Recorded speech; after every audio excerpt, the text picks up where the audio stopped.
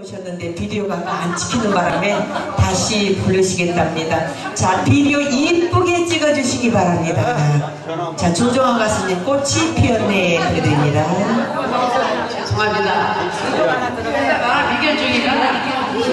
네, 죄송한데 가운데 좀 비켜주세요. 가운데서 머리가 나와서 조정환 가수님 안 보인답니다. 예, 죄송합니다.